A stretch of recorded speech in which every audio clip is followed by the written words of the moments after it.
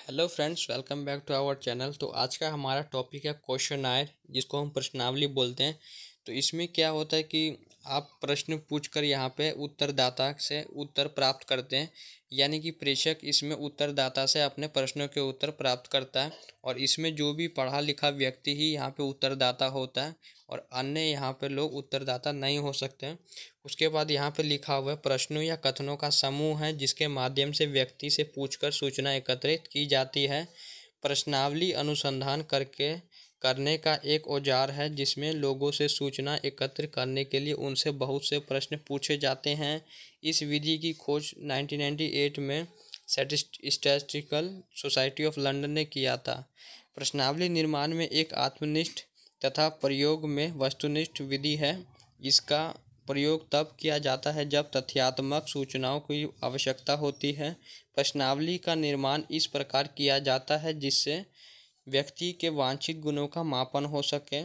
प्रश्नावली का प्रयोग व्यक्तिगत तथा सामूहिक दोनों रूपों में किया जा सकता है। यदि प्रश्नावली का प्रयोग समूह के लिए किया जाता है तो यह समय, धन और श्रम की बचत करने में सहयोग होता है।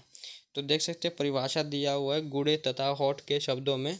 सामान्य रूप से प्रश्नावली शब्द प्रश्नों के उत्तर प्राप्त करने की उस प्रणाली को कहते हैं, जिसमें स्वयं उत्तरदाता के द्वारा भरे जाने वाले फॉर्म का प्रयोग किया जाता है। उसके बाद यहाँ पे लुंड वर्ग के शब्दों में मौलिक रूप में प्रश्नावली, प्रेरणाओं का एक समूह है, जिसे कि शिक्षित लोगों को शिक्षित लोगों के सम्मुख उन प्रेरणाओं के अंतर्गत उनके मौखिक व्यवहारों का अवलोकन करने के लिए प्रस्तुत किया जाता है। वोगाडस के अनुसार प्रश्नावली विभिन्न व्यक्तियों को उत्तर देने के लिए दी गई प्रश्नों की एक तालिका है। उसके बाद इसकी क्या क्या विशेषताएँ हैं? प्राथमिक सामग्री प्राप्त करने की अप्रत्यक्ष प्रणाली है।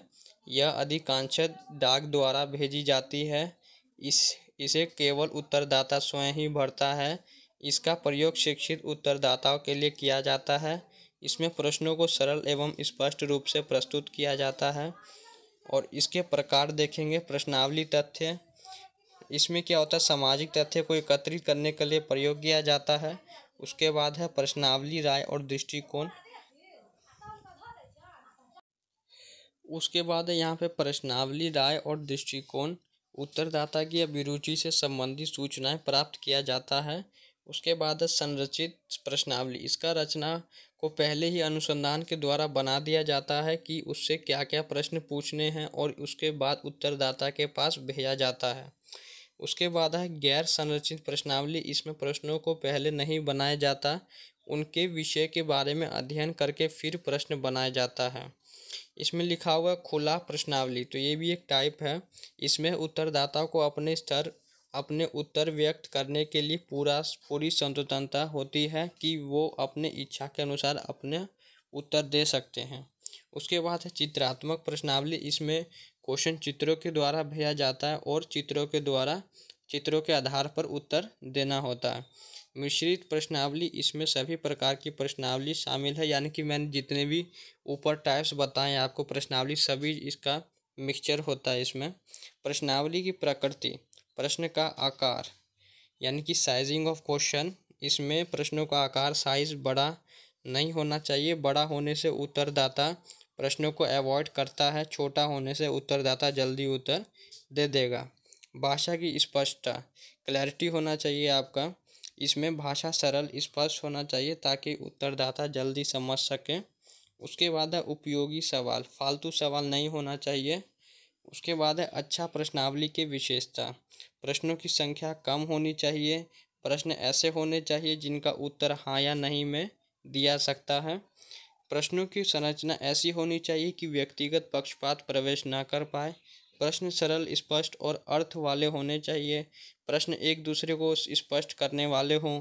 प्रश्नों की प्रकृति ऐसी होनी चाहिए कि अभीष्ट सूचना की, अभीष्ट सूचना का प्रत्यक्ष रूप से प्राप्त किया जा सके। उसके बाद इसमें क्या क्या क्वालिटी होता है गुण होता है विशाल अध्ययन, कम खर्च, सुविधाजनक पुनरावृत्ति की संभावना, निशुल्क और निष्पक्ष जानकारी। उसके बाद इसमें क्या क्या वो दोष हैं? प्रतिनिधि के नमूनों, नमूने की कोई संभावना नहीं, शिक्षित व्यक्ति ही इसके, इसको कर सकते हैं। ग्रहण अध्ययन के लिए अनुपयुक्त पूरी जानकारी की कम संभावना प्रतिक्रिया की समस्या। तो इसमें जितना प्रश्न उसमें आपने डाला होगा, उतना ही उत्तर आपको दिया जाएगा। उससे ज़्यादा आपको नहीं दिया जा सकता है। इसलिए यहाँ पे बोला जा रहा है, पूरी जानकारी की कम संभावना होती है। तो यही हमारा प्रश्नावली का टॉपिक था फ्रेंड्स उम्मीद करता हूँ आपको ये वाला इन्फॉर्मेशन अच्छा लगा होगा। तो वीडियो को लाइक चैनल को सब्सक्राइब कर देना। Thanks for watching this video